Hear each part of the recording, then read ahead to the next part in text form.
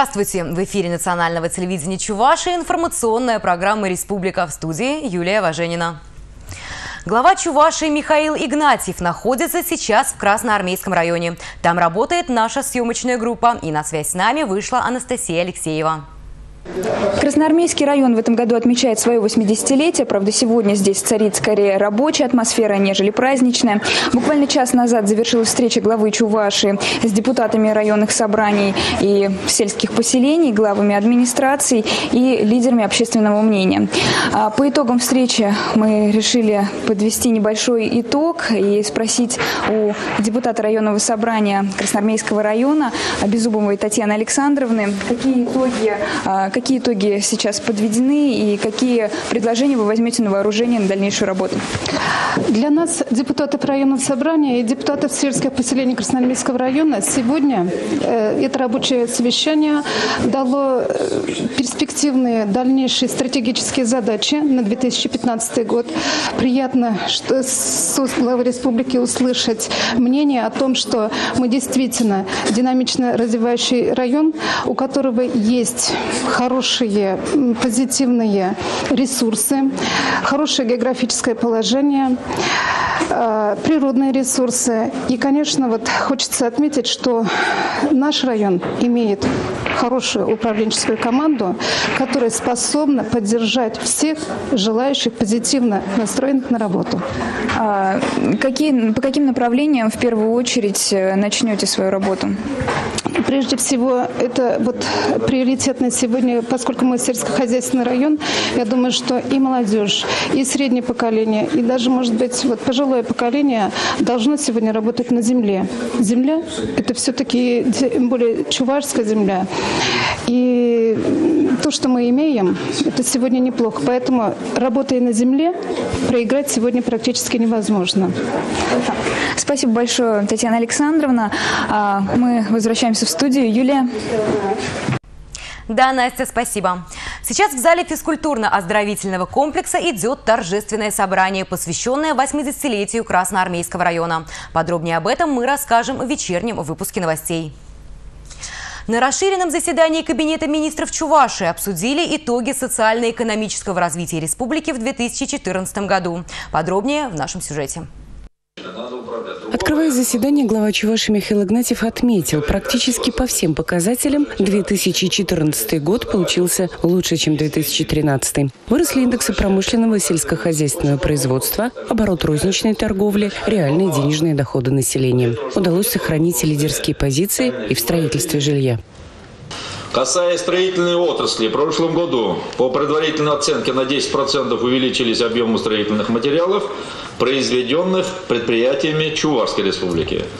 В прошлом году республика вошла в число участников программы «Жилье для российской семьи». Что нам это дает? Участники данной программы получат безвозмездные финансовые средства в расчете 4000 рублей за один квадратный метр введенного жилья после подписания государственных контрактов.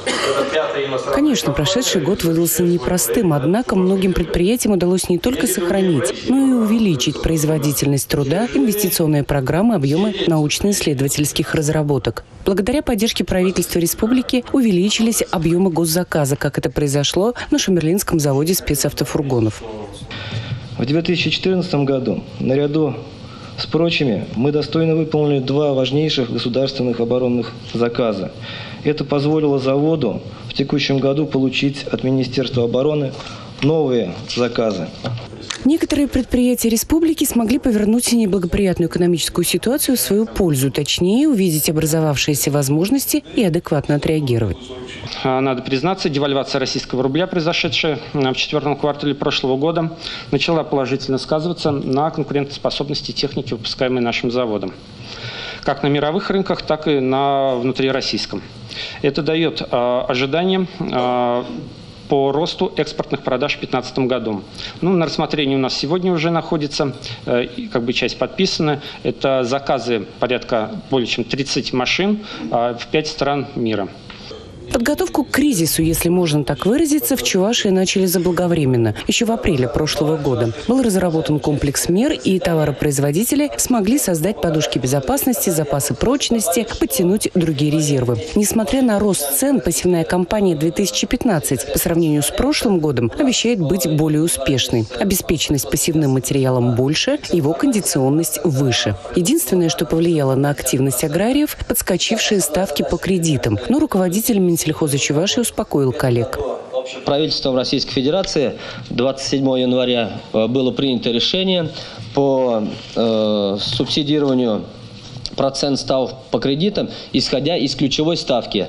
Э, вот по краткосрочным кредитам мы теперь будем субсидировать э, от 17,4 до 17,6% процентов. То есть э, основная ставка, которая ляжет на сельхозтовпроизводителя, это где-то от 6-5 процентов. Я считаю, что это, э, ну как сказать, уже приемлемая ставка.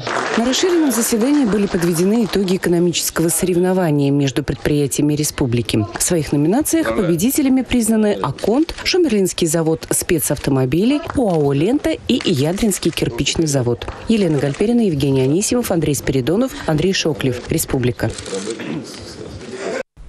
Несмотря на негативные экономические тенденции, все социальные обязательства выполнены. Такой была главная мысль всех выступлений. Это подтверждают и участники совещания, представители различных сфер деятельности. В частности, а, выдача ипотечных кредитов а, в прошлом году у нас а, превысили на 50% показатели 2013 года. А, портфель малого бизнеса тоже в полтора раза превысил результаты 2013 года. При этом, при этом Чувашская республика в рамках нашего банка показала лучшие показатели кредитного риска, то есть э, качество заемщиков у нас лучше, чем в среднем по России. На мой взгляд, это внимание руководства к нуждам конкретных людей. Вот именно такое вот очеловечивание, так сказать, экономики. И комплексная работа. Комплексная работа по всем направлениям. Важно было то, что а, начата программа, а, социальная программа по постройке новых школ, новых образовательных учреждений. Эта программа будет а, дальше реализовываться в 2015 году. Мероприятия значит, в сфере ввода безопасной среды в образовательные учреждения будут продолжаться и в 2015 году. Это для меня особенно важно, потому что в нашей школе обучается более 100 детей с ограниченными возможностями здоровья и детей-инвалидов в условиях интеграции и инклюзии. И мы э, тоже частично уже создано, э, создали условия для обучения таких детей. По программе «Доступная среда» получено специализированное оборудование, э, получены специальные материалы для обучения. И особенно важно, что в 2015 году увеличивается число образовательных учреждений, э, в котором будет реализована а, программа «Доступная среда». Улучшилось э, положение и в спорте. В 2014 году у нас построили новые объекты, реконструировали новые объекты, что позволило нам дополнительно э, заниматься на этих площадках, э, посещать эти площадки. Более 32,7% уже у нас занимающихся. Это очень высокий показатель. И благодаря вот тем моментам, которые произошли в 2014 году, это ввод новых объектов спортивных, это как раз очень хороший фактор, позитивный фактор.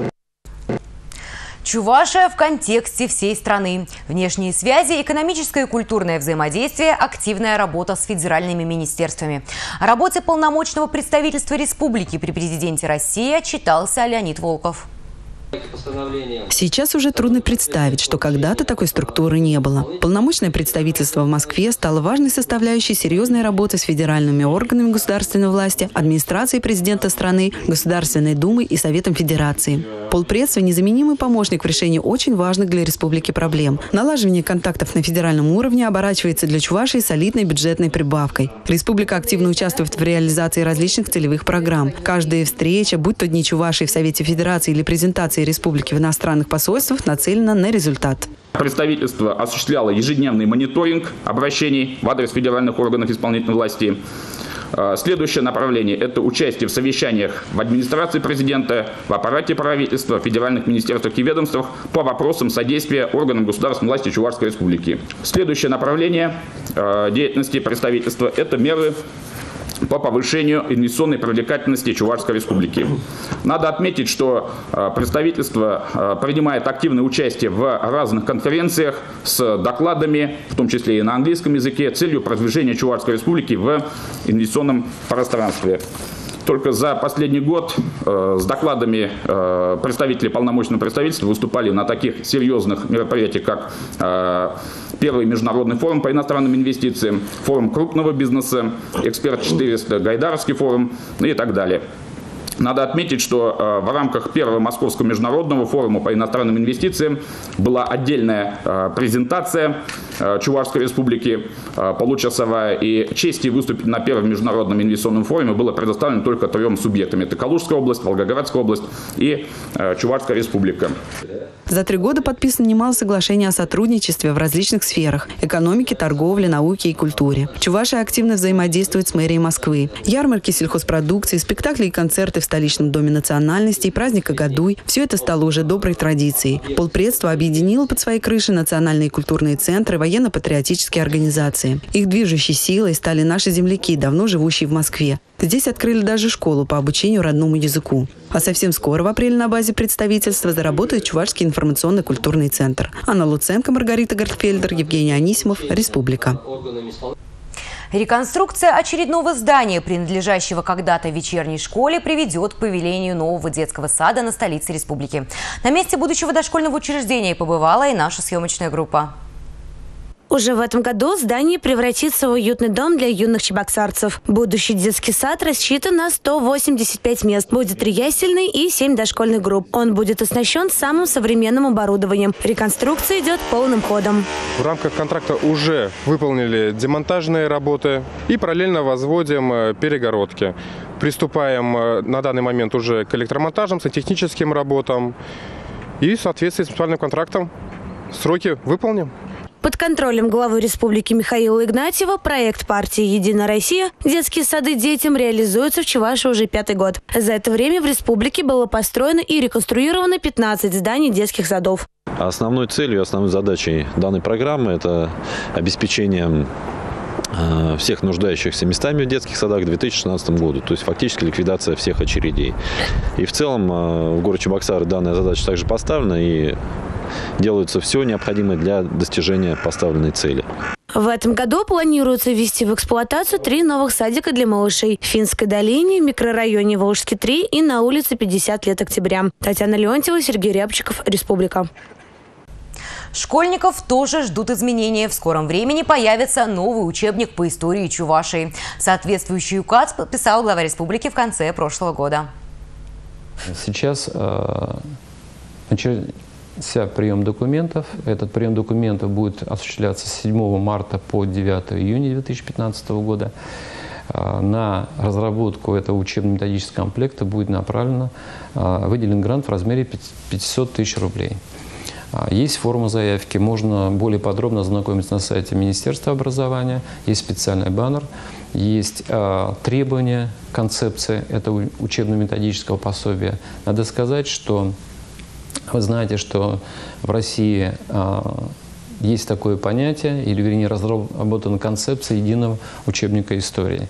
И надо сказать, что а, я думаю, что усилиями наших ученых, наших историков будет а, разработана такая концепция единого учебно-методического пособия по истории Чувашии, который предусматривает не только учебник истории Чувашии, но и приложение. Это атласы и, будем говорить, рабочие тетради, которые помогут более э, грамотно не только преподавать, преподносить и э, изучать историю и культуру Чувашского края, но и позволит, наверное, дальше совершенствовать и развивать нашу культуру и историю. Крымские овощи и фрукты могут прийти на замену импортным. На полуострове сейчас начали возрождать виноградники, яблоневые сады и возводить теплицы. Одну из таких посетила чувашская делегация во время рабочей поездки в Республику Крым. Аграрии обоих регионов наметили совместные планы работы. Подробности в следующем материале. Огурцы и помидоры здесь выращивают в огромных масштабах. 24 гектара тепличного хозяйства каждый год в этом комплексе собирают порядка 30 тонн овощей. Причем ручной труд на предприятии сведен к минимуму. За многие процессы, в том числе и за полив грядок, отвечает автоматика. Тут программа выстраивается, какая электропроводность должна быть, ну, концентрация, pH, норма полива, и он сам работает автоматом. Для поставщиков крымских овощей в российских регионах готовы создавать преференции. После введенного эмбарго на иностранные продукты на рынке появились свободные ниши. Их должны занять отечественные сельхозпроизводители. В Республике Крым планируют закупать чувашский картофель, выращивать второй хлеб на полуострове сейчас накладно. У аграриев нет возможности орошать свои поля. Но чуваши намерены приобретать в Крыму яблоки и ягоды.